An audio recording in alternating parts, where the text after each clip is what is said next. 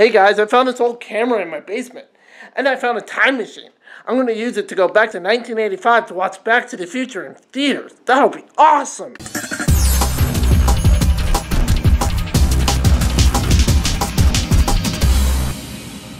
Project Almanac is the latest found footage movie from Platinum Dunes and MTV Studios. Now, now, hold on. Before you go off and assume this is a bad film, bear with me. It's actually not that bad. Alright, so Project Almanac is a time travel movie about a teenager who finds out his dad was trying to build a time machine about 10 years ago.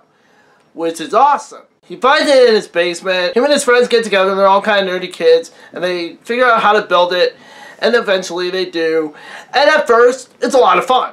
They go back in time, they change stuff they did in the past, they make their lives back in high school better.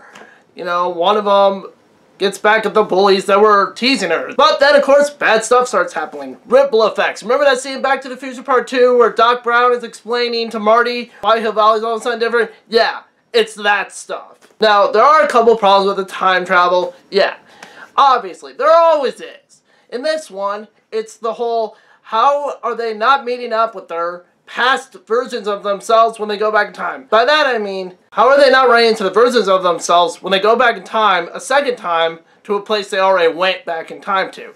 And I know that sentence may have been a little bit confusing, but hey, it's a time travel movie. What do you expect, really? Other than that, the acting is generally pretty good. I could see all these kids going on to be in other stuff. Yeah, the script could have been a little more tightly written, I guess. They could have, maybe if they'd gone through it again, fixed some of the time travel issues.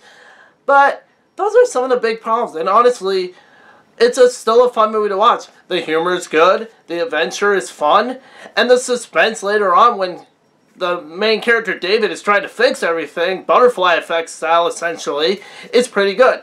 Yeah, it does borrow a lot from other time travel movies. Looper, Back to the Future, Butterfly Effect, but they reference all of them, so it's like they're kind of saying, we know you've seen these movies, but you know what? We like these movies too, so we're going to borrow from them. And you know what? You're not ripping it off, so I'm okay with that.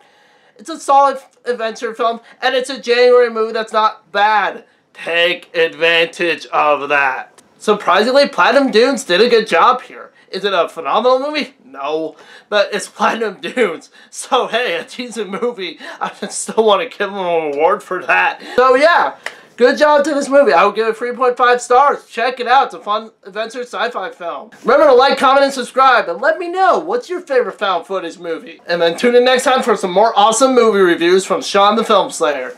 Thanks for watching.